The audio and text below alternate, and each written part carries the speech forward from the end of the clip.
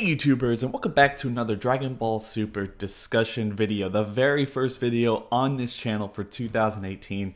I hope everyone is having a fantastic year. I'm going to ask my guest, I'm going to introduce him actually in the next couple seconds, but before I do that, I want everyone, like I said in yesterday's video, please go down to the comment section below as you're listening to us talk about this and share with us your New Year's resolutions, what you want from this year, whether you're excited for it, uh, what are you really hoping to accomplish, all of that stuff. Uh, and also, before I stay, say anything else, I want to say that this idea is going to spark the next couple of videos on my channel, the next I guess week or so. I'm not exactly sure how many topics we're going to come up with at this point, but I got this from a thing that's been going around here on comicbooks.com. They've written an article based off of a Reddit uh, post that I haven't actually seen the original post. So if we do end up copying some of that stuff, it's not intentional. Uh, you know, theories or speculations in that sense. I'm going to leave a link to the the comicbooks.com article in the in description section below so please make sure to go check that out. And if you guys know where the original link is you can share it with me and i'll put it in the description section uh, as well. But with that being said i am joined by kj over at Rakurai network. Man how are you? How's your 2018 going? What do you want to accomplish this year? And just tell everyone very quickly uh, say hello what is going on everyone um, 2018, I'm looking to for it to be a very good year. I'm being very optimistic. Last year had its ups and downs, but I'm just hoping that together as a community we can just keep bringing each other up and let's just have a more unified year than 2017 was, and let's just keep progressing for every day to be better than the last one. Exactly, exactly. I hope everyone heard that, man. but with that being said, with that being said, man, we're gonna be talking about starting off the week, you guys saw the title, saw the thumbnail, you probably know where we're going with this, but starting off this week of how will 2018 reshape Dragon Ball Super? And the very first topic we have here is should Dragon Ball Super kind of write off Goku for an arc or two or something kind of similar to what they did with the end of the Cell games versus the first couple episodes of the Buu arc with the whole Great Saiyaman stuff and everything like that. You know, kind of give other characters a chance to shine. Vegeta, Gohan, Goten, Trunks, 18, 17, Roshi, you know, Piccolo, all these other people, especially all the other universes. I mean, we're at a real turning point for Dragon Ball Super at this at this junction because 2018 is going to see the end of the Tournament of Power. We don't know, at least at the time recording this, what the next arc is even going to be about.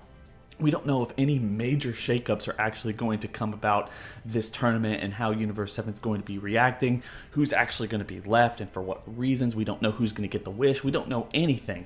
And it's possible we don't know that because there is some major shakeup, some major changes coming down the pipeline, and this could be one of them. And look, like I said, I haven't read the original Reddit article. He could have mentioned this, and a reason why Goku might have been written off or might be written off sometime in the in the near future of Dragon Ball Super. But I think that this is definitely worth mentioning. We do know, and they have mentioned several times in the Tournament of Power, that you have a disqualification. You cannot kill anyone in the tournament. If you do, you're immediately disqualified. And we've seen only once, but maybe for a strategic purpose, what it means to be legitimately disqualified or taken out of the tournament of power if you break the rules. We saw it with Frost, they completely erased him, right? It's not just like, oh, you're out, you have to sit out. I'm just assuming they showed us that, if if at all, because someone if they end up doing the one thing you cannot do in this tournament, will get erased immediately from the Zenos, you know, without remorse, without any thought process or anything. So, what if they did that just simply to erase Goku. Like what happens if that happens? How does this series progress? Who takes over? Who who takes the mantle for the next arc and how does that shake up the entire universe at least for an arc or two? You know, you're not going to get rid of Goku forever. They're going to figure out a way to bring him back and in a better better and bigger way. Uh, what are your thoughts on that? Would you be receptive to it? Do you think that that would hurt the community, hurt the show, uh, hurt anything like that? Um I have a few different sides on this one. Um, I've seen a lot of people say, for one, and I agree to a certain extent, that Dragon Ball sort of isn't Dragon Ball without Goku as its main character, and that's that's always been a prevalent thing. There's always been like a very strong shift whenever even an episode or two doesn't fully revolve around Goku. I mean, the hype that occurred for episode 71 was crazy, and people were legitimately thinking, "Oh crap! So Hit's gonna kill Goku, and is he gonna be gone for an entire arc?" People were legit excited, and and yet people were still kind of disappointed when he came back in the next episode as easily as he did. Um, and yet I know that on my end, I was hoping it would have more lasting consequences, but I was act- but I was still actually really happy because again, the story feels weird without Goku. There are several different factors in Dragon Ball that sort of are completed by Goku's character being present. You have one of the sources of Vegeta's motivation being Goku. You have one of Gohan's motivations being Goku. How the Son family is able to hold up without Goku. How Bulma's family is able to hold up without Goku. It's every single factor in in a scenario like taking Goku out of the story would revolve around the main characters not knowing what to do without their main protagonist around because there haven't been many instances of that kind of thing happening. In Dragon Ball Super alone, we've had again episode 71 72 involving Hit and in those spare moments that we had where it felt like Goku was actually going to die, we see Piccolo, Gohan, and Goten surrounding the body, dang near at tears. Go- Goten was actually crying, I believe, and it was just a really, it, at least to me, it was it was a really emotional scene because you really, you get that feeling of death actually like meaning something that you didn't really see much up until that point and by the end of it we still didn't see it but but for that split second we we thought that we were going to get that. Um but even then Goku's big return even though it was literally spoiled in the episode preview it was still a very very awesome battle that followed there. Um and then we have episode 110 with Goku's return and people thinking that he actually got killed via the spirit bomb, and then he comes back in this new explosive Ultra Instinct form. And it's sort of like what I kind of want to call almost like a narrative Zenkai in a way, because it seems like every time they want to kill off Goku, he comes back and strengthens the plot in an even bigger way than he did before. And I think I think it's really difficult to really say whether or not it would help or hurt, but I do see a lot of benefits to it, and especially just just the idea of how these other characters are able to manage and move forward without their main protagonist around. I'm always intrigued by things like that in their storylines. I, I agree. And if you look back into the whole Dragon Ball Z days, you get to see brief instances where Goku is actually written off the story. I mean, not entirely really because when he first kind of bites the dust in the original Dragon Ball Z days, the very first time with Raditz, he's still a main part of the story. He's just away and not really interacting with any of the main characters that we had known up until that point but we get a lot of growth from people. We get Piccolo kind of changing his tune, Gohan becoming more of a warrior. You have Krillin and everyone else training for the Saiyans' arrivals, and we get the introduction of Vegeta. There's a lot of growth happening there, character-wise, without our main prota- or antagonist or protagonist, without our main protagonist at the center helm of everyone else around him. He's not the center focus of their world, more so just the story.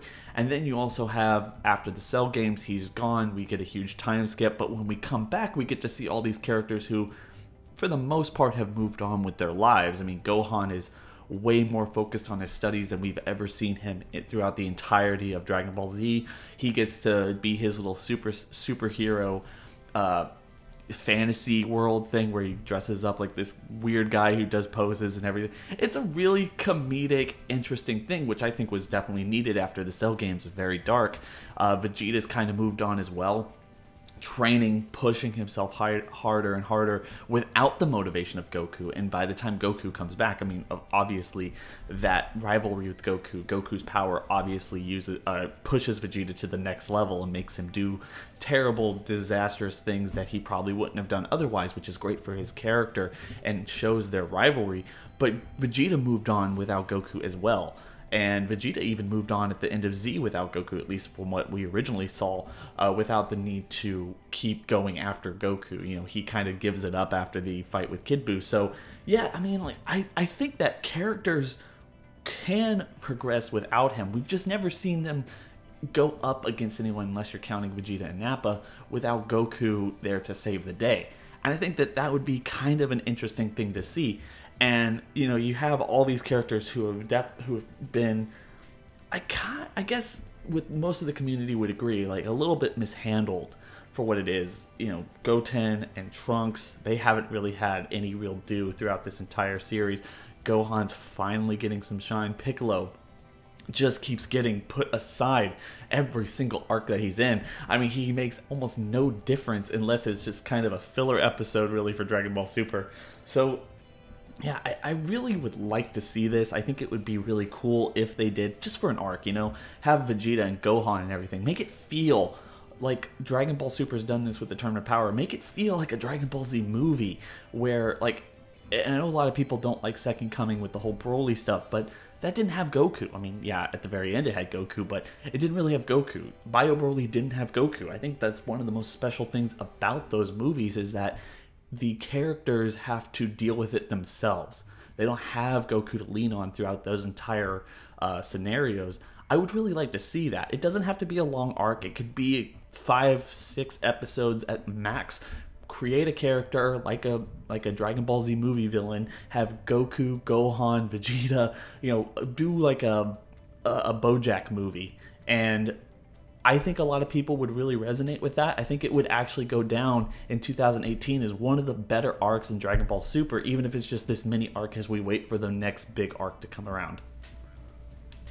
Yeah, yeah, I totally agree. It would it would have a lasting effect in terms of what people think about the series because one thing that people do say a lot and I perfectly understand why they say it is that it feels like the show doesn't really have any weight like nothing that really happens affects the main cast at all and even though we know that by the end of the 42 volumes they're going to be completely fine what what would be amazing is to still have that bit of an arc where we we do have them in a but I, I would want it to be in a legitimately dire situation. Like in a not just in a case of like, you know, maybe Goku is out training somewhere and then a whole bunch of space poachers show up or something and they all like that's not that wouldn't be that wouldn't suffice. I think like it would I would just love if it's like even if nothing's going on really, if it's if it's just like one of those not really action filled arcs and it's just a lot of character interactions, a lot of character building, that kind of thing, where we have Goku not being there. I think both could e- could be equally as powerful, because like just seeing them trying to adjust to their daily lives without Goku, in a way, and I also think in a way, you know, a lot of people are really annoyed by Goku's character in Super, which again I understand that sentiment a lot. Um, I think this could also serve as a thing for the fan base too because I know for me, I would miss hearing Masako Nozawa's voice every single episode, definitely. Um, and on top of that, it would it would sort of be that situation of you don't know what you have until it's gone, in a way, where we wouldn't really have cared too much about what Goku had grown into because we were so annoyed by him at this certain point, and then with him being gone, for say like if they want to be bold and do this for like 20 episodes or something that entire time span we really start to miss Goku mm-hmm. again and I think that's a I think that'd be a really good step for Dragon Ball Super to take in 2018 if they decide no, no, to. I completely agree with that. I mean, bold is an understatement. Taking off Goku for 20 episodes. That's an understatement. Like I was talking about, like yeah, like a month. like let's do a month. Yeah, I mean more than likely, yeah. But if they wanted to go that route for like an entire like, you know, an entire arc, that's a large arc without Goku. That would just, whew, that would be I insane. know, I know. I mean, like, but I guess the one thing here, like you said, whether he's off training, whether he gets erased by the Zenos reluctantly, but he broke the rules, so they have to kind of follow their own mentality, despite the fact that they like him and he's caused them the most joy for this tournament.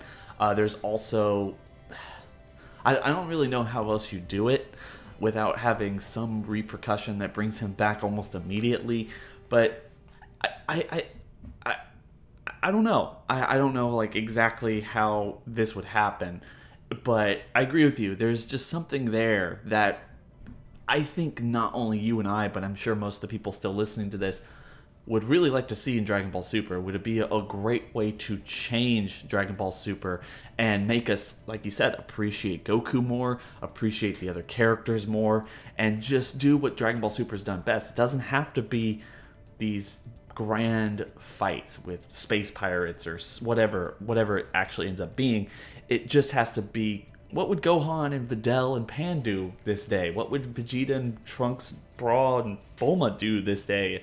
You know, all this other stuff without Goku, you don't have to focus on the fighting. So we get a complete month of Goku being gone, training, maybe cutting, even if you cut back to him back and forth, kind of like the whole Saiyan arc thing.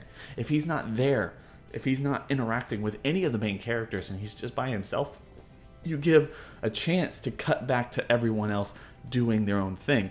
I mean, I think Dragon Ball Super could have and still can with the Tournament of Power get, I guess, some kind of semblance of this by cutting back to Universe 7 and showing us what everyone's doing without Goku. Because those characters we still care about. We still care about Bulma. We still care about Goten and Trunks and, and Marron and Chi Chi and all these other people. I know a lot of people don't care about Chi Chi, but you guys get my point.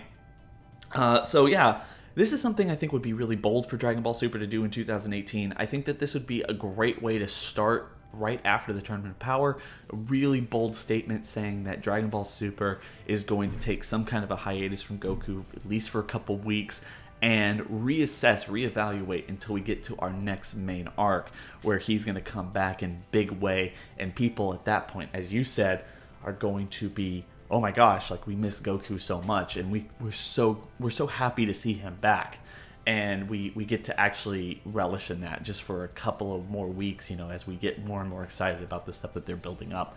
But anyway, guys, like I said, please make sure to uh, you know come back every single day this week. We're going to be talking about ways in which Dragon Ball Super can reshape itself in 2018. It is a brand new year. We're hoping for some major shakeups with our the, the brand that we like, not just a show, but the entire extended universe of Dragon Ball, stuff that they can do to make us excited to keep watching the show, keep playing the games, keep buying and supporting the franchise that we love. But guys, I hope everyone enjoyed the video. Please make sure to go down to the description section below, hit that link and go subscribe to Rakurai. Man, the guy makes some really awesome content. You're not going to want to miss any single minute of it.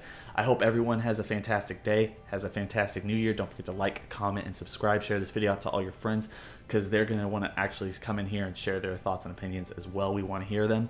Don't forget to hit that bell over by the subscriber button. That's going to notify you every single time I upload. But with that being said, it's been real.